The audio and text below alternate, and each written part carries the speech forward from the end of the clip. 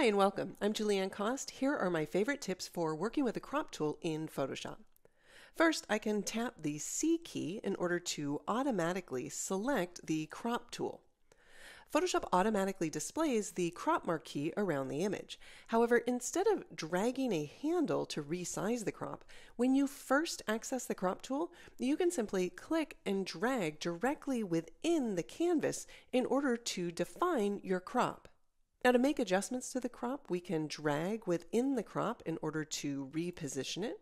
We can drag a handle in order to resize it, or we can drag outside of the crop marquee and we can rotate it. Now we can also use the straighten option while cropping an image. We can either select it from the toolbar or we can hold the Command key on Mac or the Control key on Windows and then click and drag in the image area in order to rotate. To reset the rotation, we can double click on the straighten icon. To nudge the position of a crop, we can use the arrow keys and we can add the shift key to nudge it in larger increments.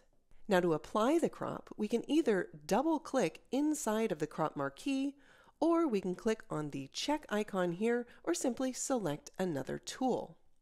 After applying a crop, Photoshop automatically hides the crop marquee even though the crop tool is still selected.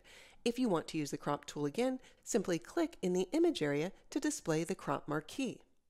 If you crop an image, but you want to retain the information that's beyond the crop marquee, we can uncheck the Delete Cropped Pixels option.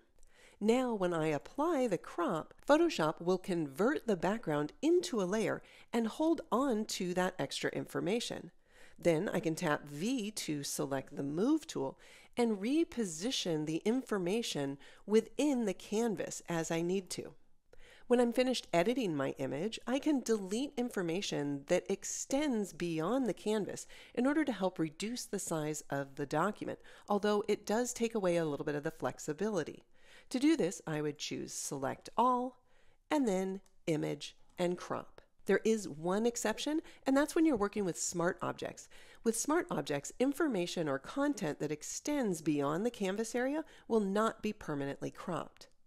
All right, let me use Command D on Mac, Control D on Windows to deselect, and then I'm going to revert this image. I'll tap C to select the crop tool and drag out another crop. If I want to hide the information that's outside of the crop marquee, I can tap the H key to toggle its visibility, or I can use the forward slash key. If I need to crop to a specific aspect ratio, I can select that from the list. And if I need to exchange the width and height, I can click on the double arrows here or just tap the X key. Now, if I want to crop and resize the image at the same time, then instead of selecting an aspect ratio, I'll choose width, height, and resolution. I'll enter in 10 by 8 at 300 pixels per inch, and then resize as well as reposition the crop.